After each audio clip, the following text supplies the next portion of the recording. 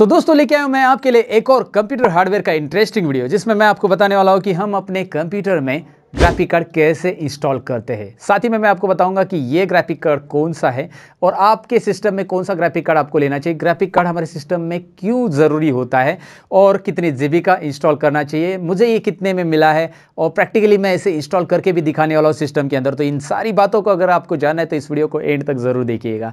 मैं Satish complete technology channel में आप सबका स्वागत करता हूँ। चलिए शुरू करते हैं कंप्यूटर हार्डवेयर का इंटरेस्टिंग वीडियो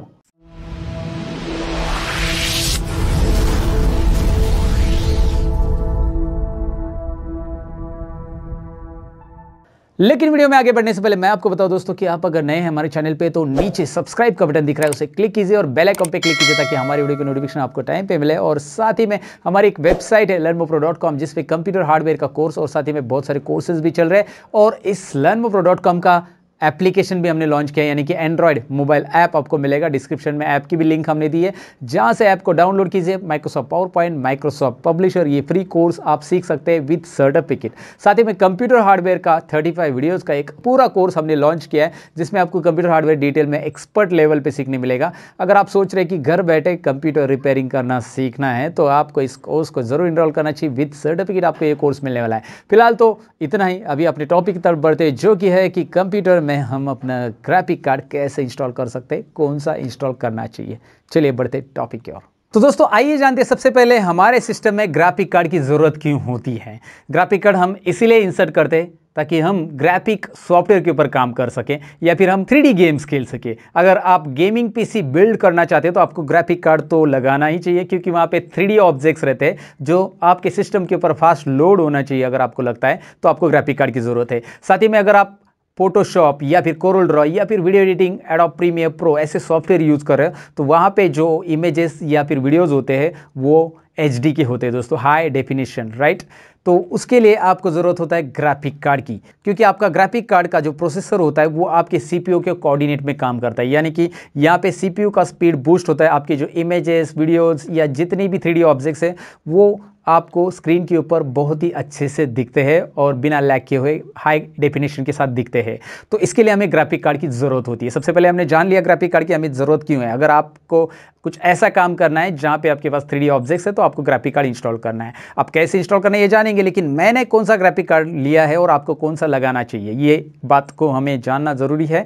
तो मैं आपको मेरा ग्राफिक कार्ड दिखा रहा हूँ। यहाँ पे ये बॉक्स आपको दिखाई दे रहा है। ये एनवीडिया का ग्राफिक कार्ड है दोस्तों, और ये है जी ई फोर्स जी जो कि है जोटैक गेमिंग ग्राफिक कार्ड ये चार जी का ग्राफिक कार्ड मैंने ख़रीदा है और मैं यहाँ पे गेम खेलना नहीं चाहता हूँ। मैं यहाँ पे actually high end graphics use कर रहा हूँ। जैसे कि मैं वीडियो एडिटिंग कैसे करता हूँ, आपको पता है, बहुत सारे वीडियोज़ में मेरे अलग अलग अलग अलग इमेजेस वगैरह या फिर थ्री ऑब्जेक्ट भी मिक्स रहते हैं। तो उसको रन करने के लिए उसके ऊपर स्मूथली काम करने के लिए मुझे ग्राफिक कार्ड की ज़रूरत थी।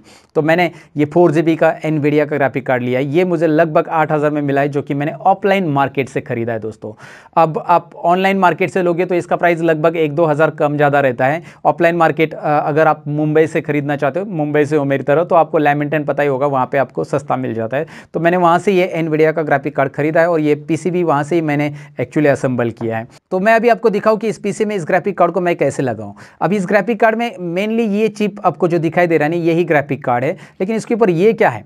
ये कूलिंग फैंस है, आपको पता ही रहेगा, जैसे सीपीयू को कूल करने के लिए फैंस की ज़रूरत है, हवा की ज़रूरत है, वैसे यहाँ पे हीट सिंक मेटल भी आपको दिख रहा है, उस मेटल के ऊपर ये फ़ैन लगाए, क्योंकि ये चार जी का ग्राफिक कार्ड है। अगर आप वन जी का ग्राफिक कार्ड खरीदते हो या टू जी का ग्राफिक कार्ड खरीदते हो तो उसमें शायद ही ऐसा फ़ैन हो, क्योंकि उसमें इतना प्रोसेसिंग नहीं होता है तो उसमें इतना लोड नहीं आता ग्राफिक प्रोसेसर के ऊपर तो फिर वो जो होता है उसके लिए कूलिंग फ़ैन की ज़रूरत नहीं होती। लेकिन यहाँ पे कूलिंग फ़ैन की ज़रूरत है, इसलिए ये ग्राफिक कार्ड इतना बड़ा आपको दिख रहा है। दरअसल ये ग्राफिक कार्ड के जो आपको स्लॉट्स दिखाई दे रहे सभी ग्राफिक कार्ड में ये ही इस तरह से ये आपको मिलेंगे। जैसे रैम में रहता है, वैसे ही यहाँ पे गोल्डन पॉइंट्स आपको मिल रहे हैं राइट और इसी को लेकर हम इंसेट करने और इसका बैक पैनल मैं आपको दिखाता हूँ। यहाँ पे एचडीएमआई आपको दिखाई दे रहे हैं, ओके, दो एचडीएमआई दिखाई दे रहा है और एक डी दिखाई दे रहा है। लेकिन यहाँ पे वी नहीं दिख रहा है आपको। जो कि मेनली आपको अलग अलग ग्राफिक कार्ड रहते हैं उसमें VGA भी रहता है लेकिन ये अपडेटेड ग्राफिक कार्ड है जिसमें VGA तो रिमूव कर दिया गया है। वी की जगह अभी सब लोग H D high definition media interface use करें राइट दोस्तों? तो ये बैक पैनल है जो कि ये कैबिनेट से बैक साइड में आएगा और यहाँ पे ये आ, हमारे मदरबोर्ड पे लगेगा ए जी में। एजीपी एडवांस ग्राफिक पोर्ट जो कि मैंने हार्डवेयर की वीडियो में आपको बताया है कि हार्डवेयर का एक वीडियो मैंने अपलोड किया है। आपको नहीं पता है तो लगभग पौने दो घंटे का वो वीडियो है, जिसकी लिंक आई बटन पर मैंने दी है, जहाँ पे आप डिटेल में हार्डवेयर और सीख सकते हैं। तो यहाँ पे मैं आपको बताऊँ कि ग्राफिक कार्ड में ये जो गोल्डन पॉइंट दिख रहे हैं, हम इस ए में लगाने वाले इस ग्राफिक कार्ड को ऐसा पकड़ के। लेकिन इस ग्राफिक कार्ड को पावर की भी ज़रूरत पड़ती है। देखिए, ये फोर जी का ग्राफिक कार्ड है तो इसमें कूलिंग फ़ैन भी लगा हुआ है तो इसमें पावर की भी ज़रूरत है। तो यहाँ पे एसएमपीएस से ये पावर आपको दिखाई दे रहा है अलग सा। राइट तो ये पावर मैं यहाँ पे लगाने वाला हूँ। ये एसएमपीएस भी अलग सा है दोस्तों। ये गेमिंग पीसी का एसएमपीएस है। तो मैं यहाँ पे इस एसएमपीएस को अटैच कर रहा हूँ इस पावर के साथ। ये दिखाई दे रहा है आपको। यहाँ पे मैं आपको दिखाऊँ, ये पावर मैं यहाँ पे इंसर्ट कर। रहा हूँ आप देख पा रहे होगे। और इसे निकालते समय, मैंने लगा दिया अभी, आप देख पाओगे इसे लगाया निकालते समय मुझे इस नॉच को प्रेस करना है, जो आपको दिखाई दे रहा है यहाँ पे। इस नॉच को प्रेस करना है, ये ऊपर ओपन हो जाता है और पीछे खींचूँगा मैं। तो ये बाहर निकल आएगा। फ़िलहाल मैंने लगा दिया। पावर लगा दिया, काम हो गया। ज़रूरी नहीं कि आपके ग्राफिक कार्ड में पावर हो। अगर आपका वन जीबी का ग्राफिक कार्ड है तो बिना पावर का भी लग सकता है, क्योंकि वो सिस्टम से ही मतलब ये जो एजीपी पोर्ट है ना, उसी में से आपका पावर आ जाता है उसके लिए। तो पावर हो नहीं हो, ये तो डिपेंड करता है कि भाई आपका ग्राफिक कार्ड कितने जीबी का है। मेरा चार जी का है और मेरा गेमिंग ग्राफिक कार्ड है तो इस तरह से लग रहा है।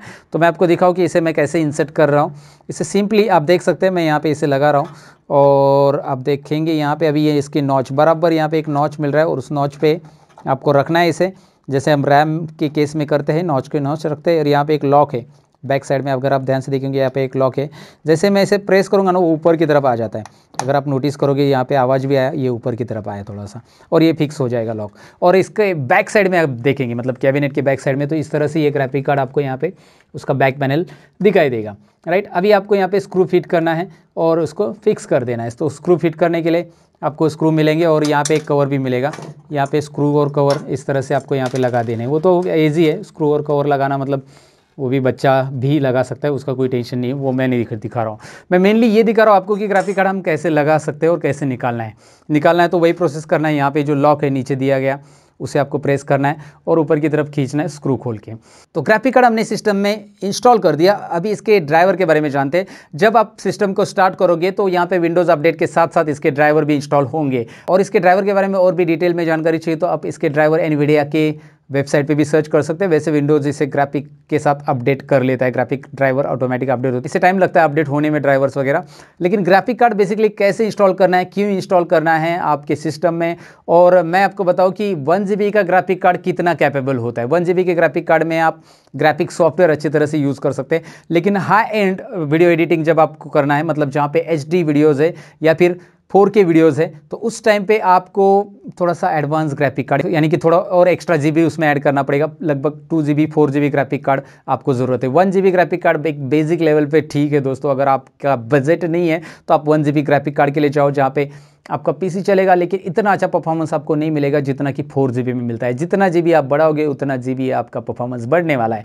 तो अगर आप सोच रहे हो कि एक गेमिंग पीसी बिल्ड करना, अगर आप सोच रहे हो कि एक ग्राफिक पीसी बिल्ड करना, देखिए, मैं इसका परफॉर्मेंस बता देता हूँ। जहाँ पे मेरा वंडेश्वर फ़िल्मों में, मैं वीडियो एडिट करता हूँ, और जहाँ पे मुझे एक वीडियो एक्सपोर्ट होने के लिए आधा घंटा लगता था, वहाँ पे इस ग्राफिक कार्ड की मदद से बस तीन मिनट के अंदर या दो से तीन मिनट के अंदर ये वीडियो पूरा एक्सपोर्ट कर लेता है। तो आप कंपैरिजन देख सकते हैं कि आधा घंटा मतलब मेरा टाइम कितना सेव हो रहा है। एक बार मैंने तीन घंटे का वीडियो आपको पता है मैं बड़े वीडियो बनाता हूँ। तो तीन घंटे का वीडियो मैंने एक्सपोर्ट के लिए रखा था। नॉर्मल सिस्टम है जहाँ पे ग्राफिक कार्ड नहीं है, लेकिन आठ जी की रैम है और आई थ्री प्रोसेसर है। ये मेरा राइजन सेवन का प्रोसेसर है। ग्राफिक कार्ड के साथ प्रोसेसर भी अच्छा होना आपके लिए बहुत ज़रूरी होता है। तो मेरा A M D Ryzen seven का प्रोसेसर है। तो उसमें जो मैंने आई थ्री के प्रोसेसर आठ जी रैम के साथ एक्सपोर्ट के लिए वीडियो को रखा था वीडियो को आठ घंटे लगे थे और वही वीडियो मैंने इसके अंदर एक्सपोर्ट के लिए रखा था तो ट्वेंटी मिनट्स में एक्सपोर्ट हो गया था। ये मेरा एक्सपीरियंस है दोस्तों लाइव एक्सपीरियंस मैंने आपको बता दिया। सो बेसिकली ग्राफिक कार्ड कितना हेल्प करता है आपका टाइम कितना सेव करता है आपको समझ में होगा। मुझे भी टाइम सेव करना हो टाइम इज़ मनी दोस्तों, सबको पता ही है। तो ये बताने की ज़रूरत नहीं। तो बेसिकली ग्राफिक कार्ड के बारे में ये था सब कुछ। तो देखा आपने दोस्तों ग्राफिक कार्ड हमारे सिस्टम में हम कैसे इंस्टॉल करते हैं? साथ ही में मैंने आपको बताया कि कौन सा ग्राफिक कार्ड आपके सिस्टम में लगाना चाहिए और ग्राफिक कार्ड आपको कितने में मिल सकता है? तो इन सारी बातों को हमने प्रैक्टिकली जाना है। तो अब इस वीडियो को लाइक करने की बारी है। लाइक कीजिए जल्दी से। दोस्तों के साथ ज़रूर शेयर कीजिए। साथ ही में अगर आपको कुछ भी पूछना है तो कमेंट सेक्शन में ज़रूर लिख दीजिएगा। और हमारी वेबसाइट और हमारा application learn more application description में हमने लिंक दी, उसे डाउनलोड ज़रूर कीजिएगा और कुछ नया सीखते रहिएगा। तो चलिए मिलते हैं अगले वीडियो के अंदर। तब तक के लिए अपना ख्याल रखिएगा। Bye bye